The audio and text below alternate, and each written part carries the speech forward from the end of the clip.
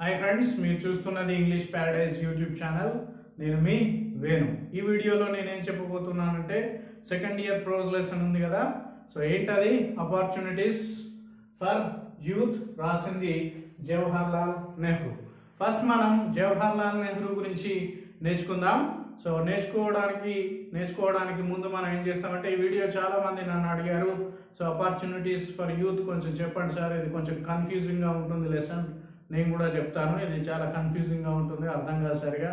So కాబట్టి మీకోసం నేను ఎంత కష్టపడి వీడియోస్ చేస్తున్నాను కాబట్టి మీరు ఇప్పటివరకు అయితే నా యూట్యూబ్ ఛానల్ని సబ్స్క్రైబ్ చేయకపోతే ఇప్పుడే సబ్స్క్రైబ్ చేయండి మరిన్ని ఇలాంటి వీడియోస్ కోసం.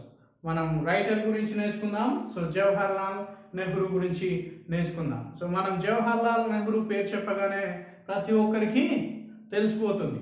ఏం తెలిసిపోతుంది? ప్రతి ఒక్కరికి తెలిసిన నేమ్ అదేంటి? జవహర్ లాల్ నెహ్రూ. ఏ విధంగా తెలుసు జవహర్ లాల్ నెహ్రూ?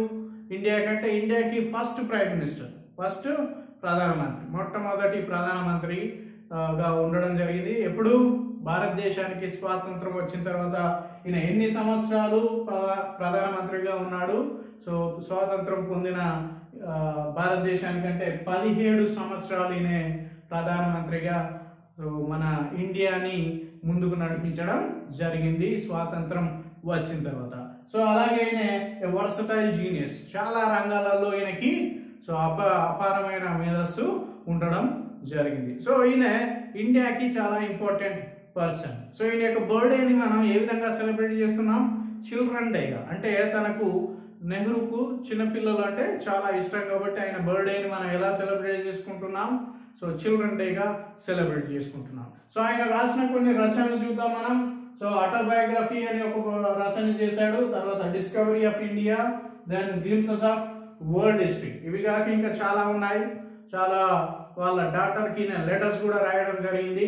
సో ఈ గ్లిమ్సెస్ ఆఫ్ వరల్డ్ హిస్టరీ అనే దాంట్లో ఈయనకి ఎంత నాలెడ్జ్ ఉంది? ఇండియన్ కల్చర్ సంస్కృతి తర్వాత వారసత్వం హెరిటేజ్ ఉంది కదా. సో భారతదేశ సంస్కృతి సాంప్రదాయాల మీద ఎంత నాలెడ్జ్ ఉంది అనేది సో మనం ఏది చదివితే తెలుస్తుందట? Glimpses of world history so ఈయన భారతదేశాన్ని ఎన్- ఎలా ముందుకు తీసుకుపోవాలి అనే దాని మీద కూడా దీంట్లో ఆయన రాయడం జరిగింది. సో మన ఈ లెసన్లో కూడా ఆపర్చునిటీస్ ఫర్ యూత్ అనే లెసన్లో కూడా మనం యూత్ ఏ విధంగా ఇండియాని డెవలప్ చేయాలి అనేది కూడా సో ఈ లెసన్ లెసన్లో మనకు చెప్పడం జరుగుతుంది. ఇది బ్రీఫ్గా జవహర్ లాల్ నెహ్రూ యొక్క ఇంట్రడక్షన్ సో మనం గనక లెసన్ టైటిల్ కనుక చూస్తే తెలిసిపోతుంది ఆపర్చునిటీస్ ఆపర్చునిటీస్ అంటే అవకాశాలు. ఎవరికి ఎవరికి సంబంధించిన అవకాశాలు? ఫర్ యూత్ యూత్ కొరకు చాలా అవకాశాలు ఉన్నాయి. ఎక్కడ ఉన్నాయి మన భారతదేశంలో ఉన్నాయి. సో ఇది మోటివేషనల్ లెసన్గా మనం చెప్పవచ్చు. ఎవరికి మోటివేషనల్ లేదా ఒక మెసేజ్ ఇచ్చే లెసన్గా మనం చెప్పవచ్చు. యూత్కి ఇది ఒక మెసేజ్ ఇచ్చే లెసన్గా మనము చెప్పవచ్చు. ఇందులో యూత్ ఎలా ఎన్ని అవకాశాలు ఉన్నాయి?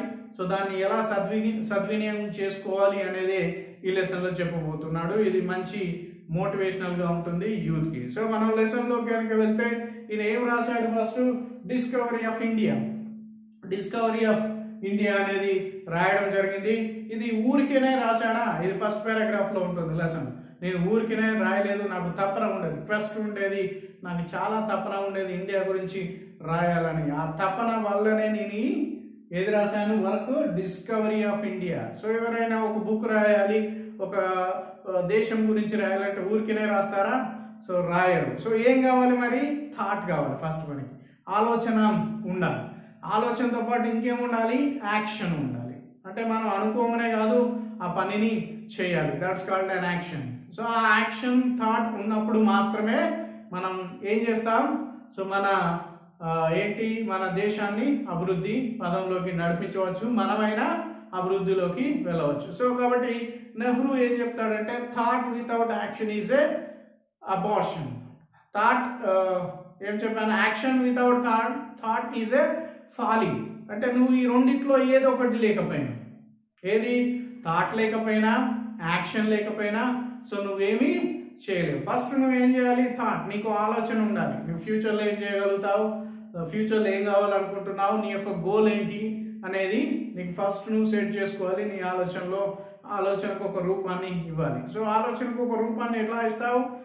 యాక్షన్ ద్వారా ఇస్తావు. సో దీంతో పాటు ఇంకేం ఉండాలి? యాక్షన్తో పాటు పట్టుదల కూడా ఉండాలి. పట్టుదల లేకుండా కనుక నువ్వు ఏమైనా చేస్తే నువ్వేమైనా సాధించగలుగుతావా? సాధించలేవు.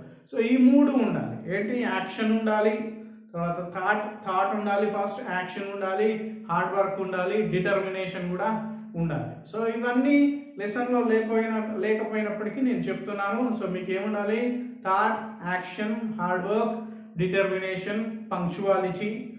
So hard work hard working nature ఇవన్నీ కనుక ఉంటే మీరు ఏదైనా సాధించవచ్చు. సో ఇది ఎవరికి మెసేజ్ ఇస్తున్నాడు? ఈ లెసన్ ద్వారా ఇలా ఉండాలి అని యూత్కి ఇస్తున్నాడు. సో ఎందుకు యూత్కి మెసేజ్ ఇస్తున్నాడు అంటే నేటి బాలలే రేపటి పౌరులు. అంటే ఇప్పుడు యూత్గా ఉన్న వాళ్ళే నెక్స్ట్ జనరేషన్ లేదా రాబోయే కాలంలో దేన్ని నిర్మించబోతున్నారు? భారతదేశాన్ని నిర్మించబోతున్నారు వాళ్ళే డెవలప్ చేయగలుగుతున్నారు. ఇంకొకటి ఏం చెప్పాడంటే ప్రపంచంలో ఎక్కువ యూత్ ఎక్కడ ఉంది?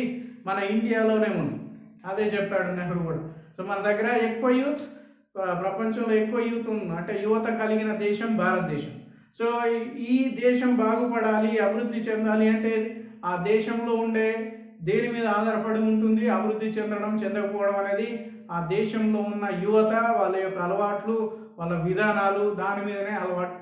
ఆధారపడి ఉంటుంది ఒక దేశం అభివృద్ధి చెందాలి లేదా అని దానికి సో కాబట్టి ఈయన ఏం చెప్పాడంటే సో మన దగ్గర యూత్ ఉన్నారు సో ఆ యూతే భారతదేశాన్ని ఫ్యూచర్లో నిర్మించబోతున్నారు. ఇంకొకటి కూడా చెప్తాడు ఏంటి? సో హ్యాపీనెస్ అనేది సో రిచ్ వాళ్ళకి పూర్ వాళ్ళకి ఎలా ఉంటుంది అనేది కూడా చెప్పాడు. సో మనీ ఒకటే హ్యాపీనెస్ని ఇవ్వదు. సో యాక్చువల్గా ఎవరు హ్యాపీగా ఉంటారంటే మన నెహ్రూ చెప్పాడు. ఏమని చెప్పాడు అంటే సో ఎవరైతే పూర్ పీపుల్ ఉంటారో వాళ్ళే హ్యాపీగా ఉంటారు. ఎవరికంటట? రిచ్ పీపుల్ కంటే ఎక్కువగా ఎవరు హ్యాపీగా ఉంటారు? పూర్ పీపుల్ మాత్రమే హ్యాపీగా ఉంటారు. ఎందుకు పూర్ పీపుల్ హ్యాపీగా ఉంటారు? రిచ్ పీపుల్ హ్యాపీగా ఎందుకు ఉండరు? అంటే రిచ్ పీపుల్కి వాళ్ళకి చాలా టెన్షన్స్ ఉంటాయి. వాళ్ళకున్న ప్రాబ్లమ్స్కి వాళ్ళు ఏంటి? క- కనీసం తినలేరు. వాళ్ళకి చాలా రకాల డిసీజెస్ జబ్బులు రోగాలు రావడం జరుగుతుంది. అదే పూర్ పీపుల్ తీసుకోండి పేదవాళ్ళని. సో వాళ్ళకి ఏం జబ్బులు రావాలి కష్టపడతారు కాబట్టి. సో హ్యాపీనెస్ అనేది మనీతో ఏంటి? పోల్చకూడదు. మనం దేంతో పోల్చగలం? సో మనకి ఇన్నర్ ఫీలింగ్ ఉంటుంది కదా మనం ఆత్మ సంతృప్తి అంటాం కదా మనం దాంతో పోల్చాలి. మనీతో పోల్చలేదు హ్యాపీనెస్ అనేది మనీతో రాదు. సో దేంతో వస్తుంది? ఆత్మ సంతృప్తితో వస్తుంది అని చెప్పడం జరిగింది. అలాగే ప్రతి పౌరుడు తన దేశాన్ని గొప్పగా చెప్పుకుంటాడు. మనం కూడా భారతదేశము చాలా గొప్పది చాలా డిఫరెంట్ కల్చర్ ఉంది. సో మనం అన్ని మతాలు ఉన్నాయి అన్ని కులాలు ఉన్నాయి అన్ని సాంప్రదాయాలు ఉన్నాయి. సో ఇన్ని కులాలు మతాలు సాంప్రదాయాలు వర్గాలు ఉన్న దేశము ఎక్కడ మనకు కనిపించదు. సో ఈ విధంగా ప్రతి ఒక్కరూ సో వాళ్ళ దేశం గొప్పతనం చెప్పుకోవడం తప్పేమి లేదంటారు నెహ్రూ లెసన్లో. సో దీంతో పాటు ఇంకేమంటాడంటే కొంతమంది ఏం చేస్తారు వాళ్ళ దేశం గురించి గొప్పగా చెప్పుకుంటారు. మా దేశంలోనే చాలా పెద్ద బిల్డింగ్స్ ఉన్నాయి.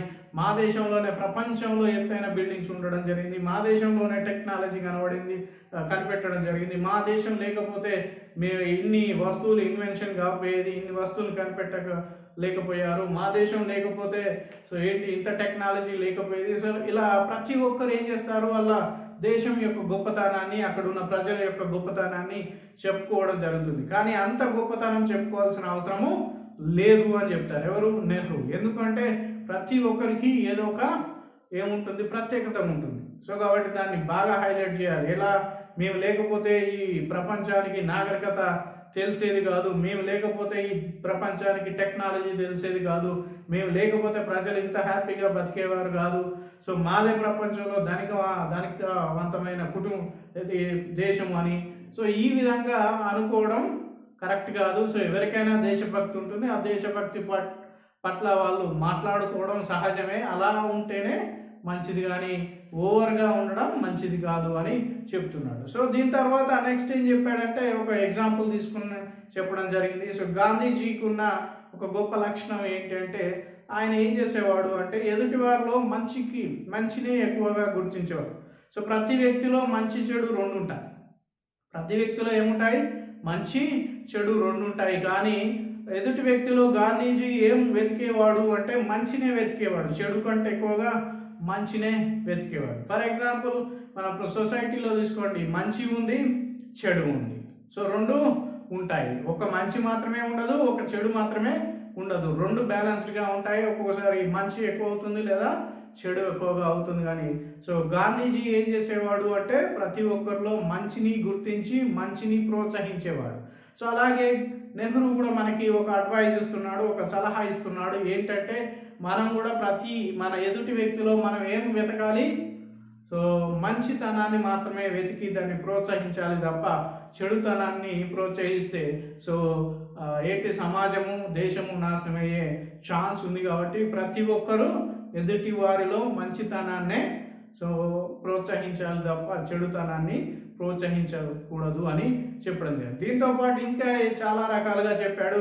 సో ఈయన డిస్కవరీ ఆఫ్ ఇండియా రాశాడు తర్వాత ఆటోబయోగ్రఫీ రాశాడు గ్లిమ్సెస్ ఆఫ్ వరల్డ్ హిస్టరీ కూడా రాయడం జరిగింది. దాంట్లో ఈయన హిస్టరీ గురించి నేర్చుకున్నాడు. సో మనం ఊరికే రాస్తామా హిస్టరీ డిస్కవరీ ఆఫ్ ఇండియా అంటే దాంట్లో ఇండియాలో ఏ టైంలో ఎలాంటి పరిస్థితులు ఉన్నాయి అన్నీ రాయాలంటే సో ఎవరు బాగా రాయగలుగుతారు అంటే హిస్టోరియన్స్. చరిత్రకారులు ఎక్కువగా రాయగలుగుతారు. సో నేను అంత పెద్ద చరిత్రకారుని కాదు. సో నాకంత నాలెడ్జ్ లేదు. సో నేను అవన్నీ ఎలా నేర్చుకున్నానంటే సో నేను ప్రజలలో తిరిగాను. నేను చాలా ప్రాంతాలు తిరిగాను. ఎలా తిరిగాడు నెహ్రూ అంటే స్వాతంత్ర పోరాటంలో ప్రతి ఒక్కరితో మమేకమైన తిరగడం ద్వారా. సో ఇలాంటి విషయాలు నాకు తెలిసాయి. మేము కూడా ఊరికనే లీడర్లము. కాలేదు. చాలా ప్రాబ్లమ్స్ ఫేస్ చేసి మేము ఒక్కొక్క మెట్టుగా ఒక్కొక్క మెట్టుగా మేము ఎదగడం జరిగింది. కానీ ఒకటే రోజు మేము గొప్ప లీడర్లము కాలేదు. సో దాని వెనకాల చాలా కష్టం ఉంది అని ఎవరు చెప్పారు? నెహ్రూ చెప్పడం జరిగింది. దాంతోపాటు ఇంకేం చెప్పాడంటే ఓన్లీ పొలిటికల్ లీడర్స్ రాజకీయ నాయకులే. సో భారతదేశాన్ని ఏం చేయలేరు? సో డెవలప్డ్ కంట్రీ అభివృద్ధి చెందిన దేశంగా చేయలేరు. మరి ఇంకెవరు చేయవచ్చు? సో పొలిటికల్ లీడర్స్ వాళ్ళ వంతు పాత్ర వాళ్ళు వహిస్తారు. దేన్ని? భారతదేశాన్ని అభివృద్ధి చెందడంలో దాంతోపాటు ఇంకెవరు సైంటిస్టులు కానివ్వండి ఇంజనీర్స్ కానివ్వండి టీచర్స్ కానివ్వండి ఇంకా రకరకాల ఉద్యోగాలలో పనిచేసే వాళ్ళు డాక్టర్స్ కానివ్వండి. సో వీళ్ళందరూ కలిసి సో పని చేస్తే భారతదేశం డెఫినెట్గా డెవలప్ అవుతుంది. ఇంకొకటి కూడా చెప్పాడు పొలిటికల్ లీడర్ అనేవారు ఎప్పటికీ ఉండడు. ఫర్ ఎగ్జాంపుల్ ఒక పార్టీ గెలిచింది అనుకోండి గవర్నమెంట్ ఫామ్ చేసింది. దాని యొక్క ఏంటి దాని యొక్క వ్యాలిడిటీ ఏంటి అంటే ఎన్ని సంవత్సరాలు అది పరిపాలిస్తుంది అంటే ఓన్లీ ఫైవ్ ఇయర్స్ మాత్రమే పరిపాలిస్తుంది. అంటే రాజకీయ నాయకులు గెలుపు పొందితేనే వాళ్ళు గవర్నమెంట్ ఫామ్ చేయగలుగుతారు ప్రజల్ని పరిపాలించగలుగుతారు. ఒకవేళ వాళ్ళు గెలవలేకపోతే ప్రజల్ని పరిపాలించలేరు. అదే మీరు తీసుకోండి. ఒక సైంటిస్ట్ అయ్యారనుకోండి ఒకరు. ఏం చేస్తారు? సో వాళ్ళు వాళ్ళు వాళ్ళు ముసలి వాళ్ళు అయ్యే వరకు వాళ్ళు రిటైర్మెంట్ ప్రకటించే వరకు వాళ్ళు పనిచేస్తూనే ఉంటారు. సో సైంటిస్టులు కానీ ఇంజనీర్లు కానీ డాక్టర్స్ కానీ టీచర్స్ కానీ లెక్చరర్స్ కానీ రకరకాల ఉద్యోగాలు వృత్తులు చేసేవాళ్ళు రిటైర్మెంట్. ఫర్ ఎగ్జాంపుల్ రైతుని తీసుకోండి. రైతు రిటైర్మెంట్ ఉంటుందా రైతుకి? ఉండనే ఉండదు. సో వీళ్ళందరూ ఫర్ ఆర్మీ ఆర్మీ వాళ్ళు సర్టెన్ ఏజ్ ఆర్ సర్టెన్ ఏంటి పీరియడ్ వరకు వాళ్ళు దేశానికి సేవ్ చేసి తర్వాత రిటైర్ అవుతారు. సో కొన్ని ఐదు తక్కువ సంవత్సరాలు తక్కువ సంవత్సరాలు ఉన్న ఏంటిది? తక్కువ సంవత్సరాలు వర్క్ చేసే వాళ్ళు ఎవరు? పొలిటికల్ లీడర్స్ అని నెహ్రూ గారు ఈ లెసన్లో చెప్పడం జరిగింది. సో కాబట్టి రాజకీయ నాయకులు ఇప్పుడు ఉండొచ్చు వెళ్ళొచ్చు. కానీ ఎవరు మారరు? ఈ జాబ్స్ అయితే ఎవరు చేస్తారో తర్వాత ఈ టీచింగ్ కానివ్వండి డాక్టర్స్ కానివ్వండి తర్వాత ఇంజనీర్స్ కానివ్వండి మిగతా సైంటిస్టులు కానివ్వండి వీళ్ళు ఎప్పటికీ మనకు కనిపించకుండా పోరు ఎప్పటికీ ఉంటారు. సో వీళ్ళందరి సహకారంతోనే మనము ఇండియాని డెవలప్ చేసుకోవాల్సిన అవసరము ఉంది అని ఎవరు చెప్పారు? సో నెహ్రూ చెప్పడం జరిగింది. సో ఒకవేళ మీరు ఇంజనీర్ కా- కావాలనుకోండి సో ఒక ఇంజనీర్ అయితే మామూలుగా చదువుకోకూడదు. ఎలా చదవాలి? మీరు కొత్త కొత్త ఇన్వెన్షన్స్ కొత్త కొత్త బిల్డింగ్స్ మీరు కొత్త కొత్త ఆ ఆలోచనలు మీరు చేయాలి. కానీ మామూలుగా ఇంజనీరింగ్ చేయకూడదు అని ఎవరు చెప్తారు? మన లెసన్లో నెహ్రూ చెప్పడం. ఒకవేళ మీరు సైంటిస్ట్ కావాలనుకోండి సైంటిస్ట్ అంటే ఐన్స్టీన్ లాగా కావాలి ఎంత కష్టపడాలి అలాంటి గొప్ప గొప్ప ఆవిష్కరణలు చేయాలి అని చెప్తాను మీరు ఏ ఉద్యోగం అయినా చేయండి అందులో ద బెస్ట్ ఇవ్వడానికి ప్రయత్నము చేయాలి. సో అలా ద బెస్ట్ ఇవ్వాలి అంటే మనం ఏం చేయాలి? సో మనకు ట్రైనింగ్ అవసరం. ఎవరైతే ఆ వృత్తులలో ఉన్నారో ఆ వృత్తులలో ఉన్న వాళ్ళకి ఏం అవసరము? ట్రైనింగ్ అవసరము. సో వాళ్ళకు మంచి ట్రైనింగ్ ఇవ్వాలి. ఎలా ఇవ్వాలి? ఫిజికల్గా అండ్ మెంటల్గా. దట్ మీన్స్ ఫిజికల్గా అంటే శారీరకపరమైన. సో మెంటల్గా అంటే మానసికంగా. సో ఇలాంటి ట్రైనింగ్ వాళ్ళకి ఇచ్చి సో దా ఇలా ట్రైనింగ్ ఇవ్వడం వల్ల వాళ్ళు ఏం చేస్తారు? ఇండియా డెవలప్మెంట్లో వాళ్ళు వాళ్ళ యొక్క సహకారాన్ని ఇస్తారు వాళ్ళ శాయశక్తుల కృషి చేస్తారు అని చెప్పడం జరిగింది. ఈ విధంగా కనుక మీరు యూత్ ఉన్న మిగతా వృత్తుల వాళ్ళు కనుక కలిసి పని చేస్తే సో ఫర్ ఎగ్జాంపుల్ ఇప్పుడు కొంతమంది ఉన్నారు వాళ్ళు వృత్తి చేస్తున్నారు లేదా ఏదైనా జాబ్ చేస్తున్నారు వాళ్ళు ఒకప్పుడు యూత్లో కొన్ని కళలు కానీ నేను ఇలా కావాలి అలా కావాలి అనుకుంటేనే తప్ప ఆ వృత్తికి రాలేకపోతారు. సో కాబట్టి యూత్ని ఎలా ఉండాలి అంటే బలంగా ఉండాలి మీరు. ఎలా బలంగా ఉండాలి అంటే మానసికంగా బలంగా ఉండాలి శారీరకంగా బలంగా ఉండాలి. అప్పుడు మాత్రమే మీరు సాధించగలుగుతారు దేశాన్ని అభివృద్ధిలోకి తీసుకుపోతారు. సో సక్సెస్ అనేది ఊరికి ఒక నైట్ ఇవాళ కొంచెం కష్టపడి నైట్ కష్టపడి రేపు పొద్దున ఎగ్జామ్ రాస్తే ఎల్లుండి జాబ్ వచ్చేది కాదు. సో సక్సెస్ అనే దానికి చాలా టైం పడుతుంది చాలా కష్టపడాలి. అది డెడికేటివ్గా అంటే సో ఇలా అంకిత భావంతో పనిచేసినప్పుడు మాత్రమే నీకు సక్సెస్ సాధించగలుగుతావు. సో కాబట్టి నువ్వు సక్సెస్ కావాలి అంటే నువ్వు సో డెఫినెట్గా కష్టపడాలి. సక్సెస్కి షార్ట్ కట్స్ లేవు అని ఎవరు చెప్తున్నారు ఈ లెసన్ ద్వారా?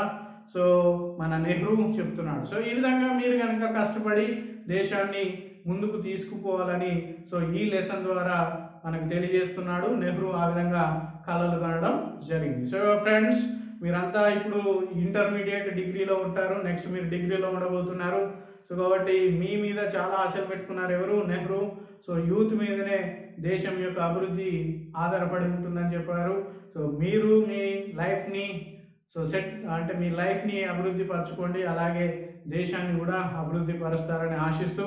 సో ఈ వీడియో మీకు నచ్చినట్టయితే నా యూట్యూబ్ ఛానల్ని సబ్స్క్రైబ్ చేయండి. సో ఈ ఈ వీడియో మీకు నచ్చినట్టయితే మీ ఫ్రెండ్స్కి కూడా షేర్ చేయండి. Thank you friends.